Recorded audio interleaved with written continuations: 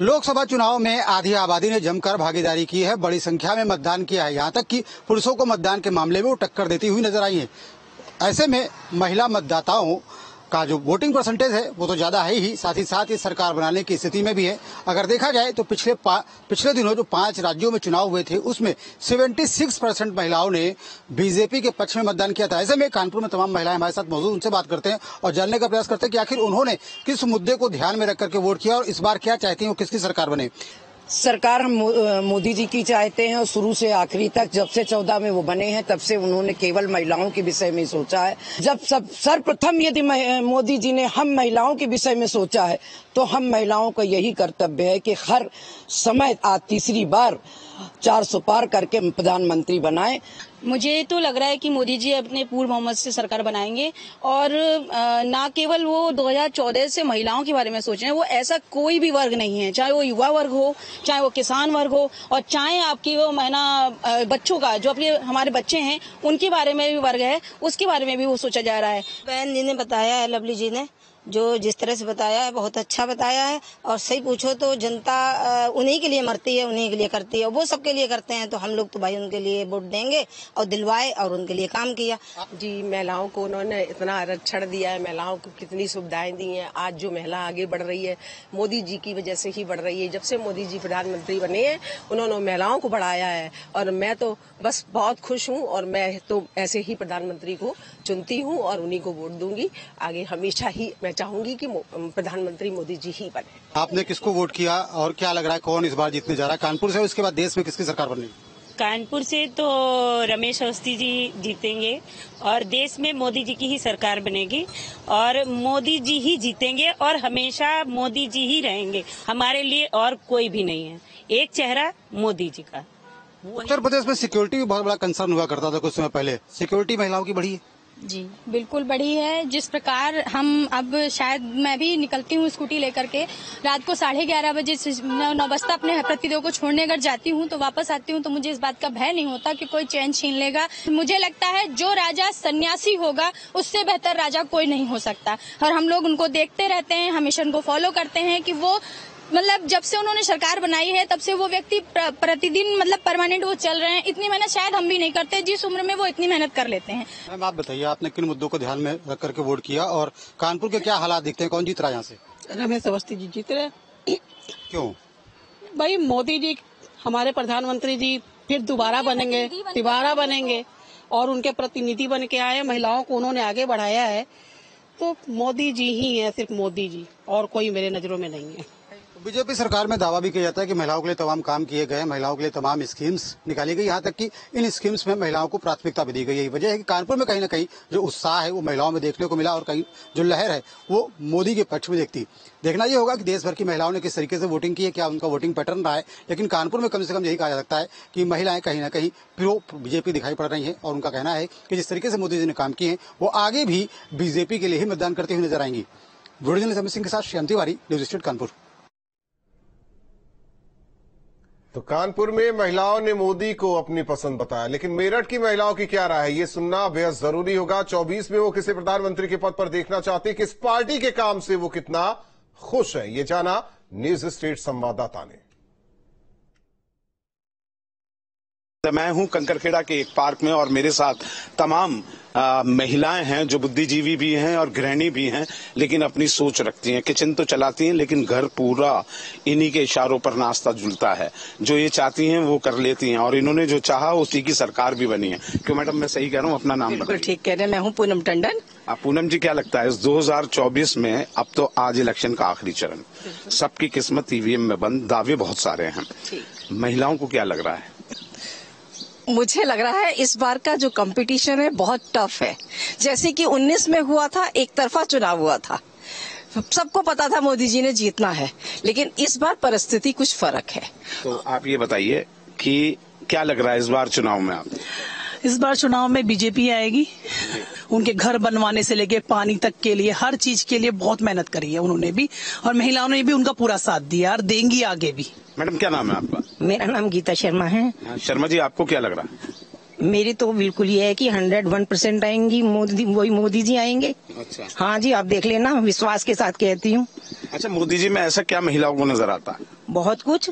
पहले हम कैसे जीते थे और आज हम कैसे जी रहे हैं? अच्छा पहले क्या था अब क्या है? पहले तो बहुत किसी की चेन कट रही है कहीं चोरी हो रही है कहीं कुछ हो रहा है अब ऐसा कुछ भी नहीं है। अच्छा मतलब यूपी की लाइन ऑर्डर जो है वो इस चुनाव में मेन मुद्दा है हाँ बहुत महिलाओं के लिए। जी जी जी। हाँ हमारा तो विश्वास पूरा है कि मोदी जी ही आएँगे और हमारे बच्चे बच्चा छोटा छोटा बच्चा कहता है कि मोदी जी ही आएँगे। हाँ जी। क्या नाम है मैडम ब्रजबाला गुप्ता। हाँ, गुप्ता जी ये बताइए मैडम कि क्या मुद्दे वैसे थे आप लोगों के दिमाग में 2024 का जब चुनाव हुआ?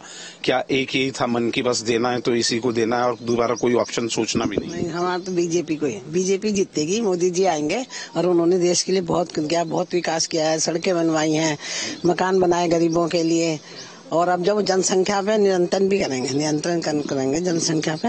मैडम क्या नाम है? सुमन शुक्ला। हाँ, सुमन जी, आपको क्या लग रहा है 2024 में क्या तस्वीर आपको नज़र आती है? कहीं विपक्ष के लिए कुछ गुंजाइश आपको महसूस होती है मन में कहीं? गुंजाइश नहीं है, क्योंकि मोदी जी ने जो काम किया है महिलाओं के लिए, उनको निर्भय बनाया है, सशक्त बनाया है, और उनको ऐसा रोज़गार में जोड़ा है जो कि वो आत्मनिर्भर बन गई हैं। जब वो आत्मनिर्भर बन चुकी हैं तो वो तो उसी को सपोर्ट करेंगी ना जिससे वो निर्भय हुए हैं। जो, जो रास्ते में जाते थे उनको खतरा नहीं है। किसी भी प्रकार को उनको प्रतिबंध नहीं लग रहा। मैडम क्या नाम? ज्योति सोम। ज्योति जी आपको क्या लग रहा है? ठाकुरों में तो बड़ी नाराज़गी थी सोम होते ही मैंने पकड़ लिया। नहीं नहीं नहीं कोई नाराज़गी नहीं है। कोई नाराज़गी कोई नहीं एक तरफा आप देख लेना भाजपा सरकार हुई है। लेकिन सरगना तो आपकी बगल में ही है कंकर कुछ भी हो लेकिन आप देख लेना भाजपा सरकार आएगी आप। चाहे मुजफ्फरनगर लोकसभा हो चाहे मेरठ हो आप देखना भाजपा आएगी। सब जगह भाजपा। भाजपा आएगी। कन्फर्म है? कन्फर्म है। मैडम क्या नाम है लक्ष्मी ध्यानी है मेरा नाम। अच्छा लक्ष्मी जी। तो पहाड़ पे तो पाँचों की पाँच सीट पिछली बार बीजेपी ले गई थी उत्तराखंड में। इस बार आपको क्या नज़र आ रहा है? देखिए मेरी तरफ़ से तो सरकार चाहे बीजेपी की आए या अन्य कोई भी आए हमें तो काम से मतलब है। जो अच्छा काम करेगा वही आएगा है ना? तो मेरा तो यही कहना है कि थोड़ा सा बुनियादी शिक्षा पे और अच्छा काम किया जाए और जो भी आए हम उन्हीं के साथ हैं। जो अच्छा काम करेगा तो जनता तो उसी के साथ होती है। मैडम क्या नाम है अनामिका त्यागी। अच्छा त्यागी जी ये बताइए यहाँ से तो एक त्यागी उम्मीदवार भी थे लोकसभा के चुनाव में लड़ रहे थे।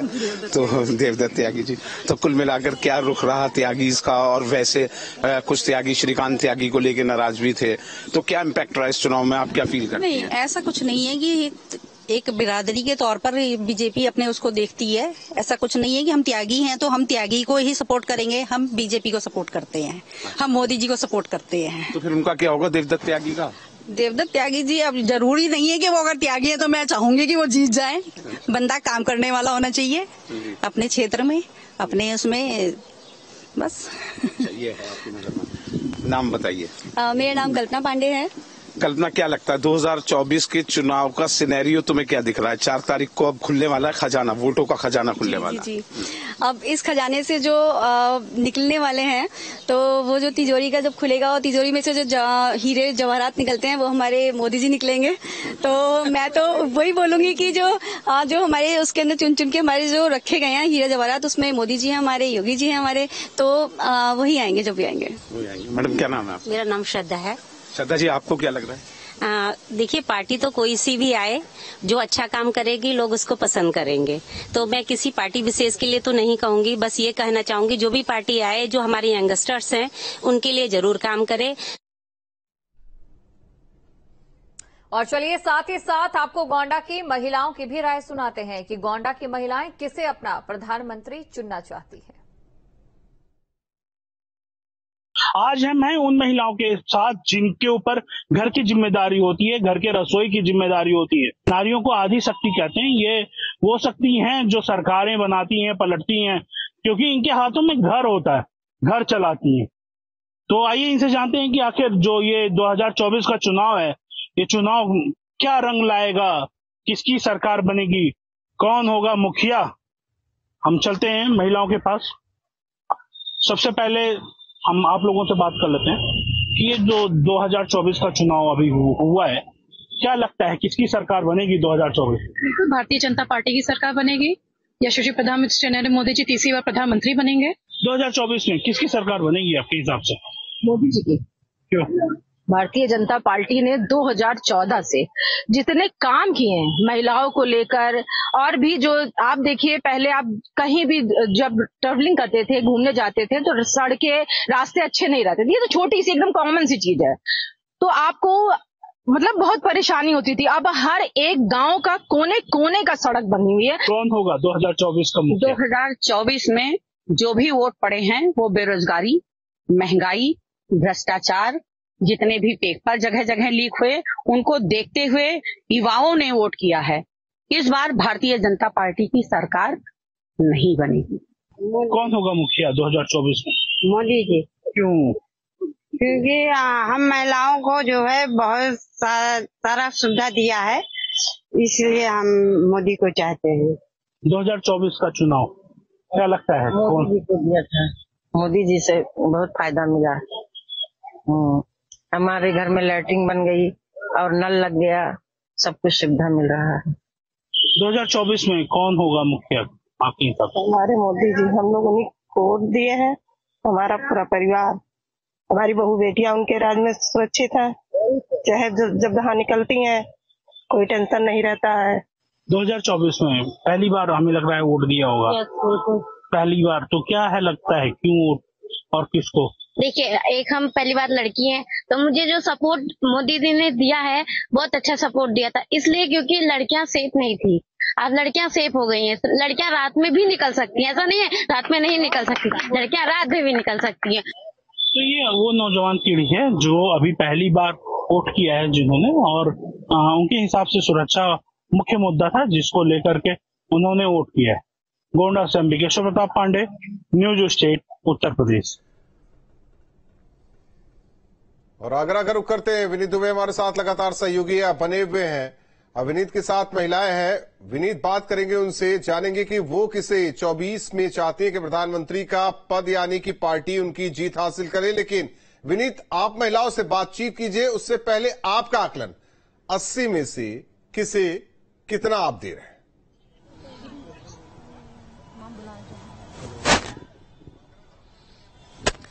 देखिए, अगर सबसे पहले मेरी बात की जाए तो अगर हम उत्तर प्रदेश की सीधे सीधे बात करें तो मेरा आकलन ये है कि कम से कम 50 और 60 के बीच में भारतीय जनता पार्टी जो अपनी सीटें लाने में इस समय सफल होगी और बाकी सीटें हैं वो सपा कांग्रेस गठबंधन के खाते में जाएँगी, कहीं ना कहीं सीटों में कमी ज़रूर आएगी भारतीय जनता पार्टी के खाते में। क्योंकि लगातार जिस तरीके से यहाँ पर वोट पड़ा है और गठबंधन को काफ़ी ज़्यादा कई सीटों पर वोट पड़ा है। सांसदों से जो वर्तमान में जो प्रत्याशी थे उनसे काफ़ी नाराज़गी थी और यही वजह है कि सपा कांग्रेस गठबंधन को इसका फ़ायदा मिलता नज़र आ रहा है। महिला शक्ति, नारी शक्ति क्या कुछ कहती है, ये हम उन्हीं से जानेंगे। और उनसे जानेंगे कि उनका आकलन क्या कुछ कहता है। सरकार किसकी होगी? और यूपी में किसकी सरकार होगी? देश में कौन प्रधानमंत्री होगी? मैं सबसे पहले अपना नाम बता देखिए मेरा नाम ज्योति जादौन है। मैं चाहती हूँ जहाँ भी जो भी सरकार बने हमारे देश में एक सशक्त और भर, भरपूर मतलब पूर्ण बहुमत की सरकार बने क्योंकि जब सरकार पूर्ण बहुमत से बनती है तो वो महिलाओं से संबंधित सभी फैसलाओं पर सभी फैसले अपने सक्षम अपने बल के ऊपर ले सकती है। और यूपी में हमारी अस्सी सीटें हैं। योगी जी का जो कार्यकाल है इतना अच्छा है कि उसको देखते हुए महिलाएँ हमेशा सपोर्ट करती। मेरा खुद महिलाओं से संपर्क रहता है जहाँ पर छिटपुट कुछ जगह पुरुष नाराज़ हैं पर जहाँ भी मेरी महिलाओं से बात हुई है महिलाओं ने खुलकर बीजेपी को वोट दिया है और महिलाएँ समर्थन कर रही हैं कि जो सरकार हमें सुरक्षा देगी जो सरकार हमें स्वावलंबन देगी हम उसी सरकार को सपोर्ट करेंगे इस बार वोट तो अच्छा खासा पड़ा है विपक्ष को भी अच्छा वोट पड़ा है काफ़ी ज़्यादा नाराज़गी थी।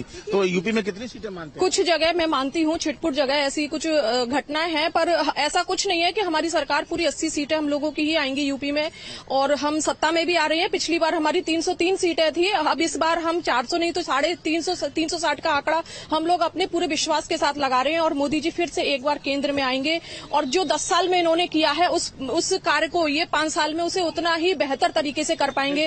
देखिए जो काम रह गए हैं जो हमारे संकल्प हम अपने बीजेपी मैनिफेस्टो को हम संकल्प पत्र बोलते हैं क्योंकि हम संकल्प लेकर चलते हैं किसी भी कारण से। तो कुल मिला के अजय अच्छा आप बताइए आप गृहिणी हैं परिवार चलाती हैं महँगाई इस बार कुछ रहा है या फिर राष्ट्रपति के मुक्त रहे हैं या फिर मोदी योगी का चेहरा इसमें रहा है? देखो क्या लगता है आपका आंकलन क्या कहता है? कौन जीतेगा इस बार? देखो, जो भी रहा हो। लेकिन मुझे लगता है इस बार बीजेपी ही जीतेगी, अपने मोदी जी ही जीतेंगे। और क्योंकि जो उन्होंने कार्य किए हैं, उससे लगता है कि हाँ वो जिन जो लिए उन्होंने किया है, प्रधानमंत्री आवास योजना और शौचालय घर घर घर गैस दिलवाई उन्होंने, घर पक्की सड़कें करवाई उन्होंने, जो कार्य किया, उसके अनुसार तो लगता है कि नहीं, मोदी जी ही आनी चाहिए। मोदी जी आने चाहिए। तो यूपी में कितनी सीटें मान रही हैं आप अपने? मैंने अस्सी साठ सीटें हैं उनकी। साठ सीटें मान रहे हैं? जी। आगे मतलब पिछली बार से कम मान नहीं कुछ सीटें कम अब देखो कुछ हुआ है फिफ्टी फिफ्टी जो हुआ है उसकी वजह से कुछ वोटे कम गए लेकिन फिर भी चांस लग रहे हैं हमारे मोदी जी आएँगे। प्रधानमंत्री मोदी जी बनेंगे? जी। अच्छा काम सारा बहुत ज़्यादा मैम आप बता दीजिए। क्या लगता है इस बार आपको एज ए महिला आपका आकलन क्या कुछ कहता है कि यूपी में किसकी सरकार? हम अभी आगरा पर भी बातचीत करेंगे लेकिन उससे पहले हम पूछ लेते हैं कि उत्तर प्रदेश में देखिए उत्तर प्रदेश में मेरा मानना तो यही है कि मोदी जी ही आए क्योंकि जो आज तक 10 साल में काम हुए हैं उससे पहले शायद नहीं हुए थे। महिलाओं की सुरक्षा लोगों को रोज़गार गरीबों को राशन गरीब योजनाओं के बारे में जितना कहा जाए, लोगों को गैस योजना, सारी योजनाओं का लाभ मिला है। और आज जितनी हम लोग महिलाओं को हम देखते हैं तो इतनी सुरक्षा है कि बारात के 12 बजे के बाद भी महिलाएँ सुरक्षित निकलती हैं। और घर से जाने के बाद वो अपने आप को इतना कॉन्फिडेंस में लेके निकलती है कि अगर रास्ते में कहीं छेड़छाड़ हो जाए तो उसके साथ पलटवार कर सकती हैं। अपना, अपने आप को अनुभव लेके चलती हैं इस चीज़ से। तो मैं ये चाहती हूँ कि आज जैसे कि यूपी के अंदर साठ से पार ही जाएगी। अच्छा। हमारा मानना यह है कि साठ से ऊपर ही जाएगी मोदी जी की सरकार बने केंद्र में केंद्र- पूरे, पूरे देश की बात की पूरे देश की बात की जाए तो तकरीबन तीन सौ साढ़े तीन सौ ऊपर आएगी। तीन सौ साढ़े तीन सौ आप मान के चल रहे हैं पक्की बात है ये मेरा कॉन्फिडेंस बता दिया आपने। बिल्कुल बिल्कुल। भाजपा जीतेगी और कॉन्फिडेंस है मेरा कि भाजपा को ही आना है। मैम आप बता दीजिए दो लाइन में। क्या कौन, कुछ- कौन जीत रहा है इस बार? मोदी जी जीतेंगे। अच्छा आगे आ जाइए मैं कभी बोली नहीं।